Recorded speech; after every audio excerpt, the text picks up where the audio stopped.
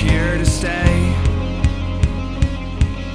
The harder that I grip, it just slips away. And what can I do?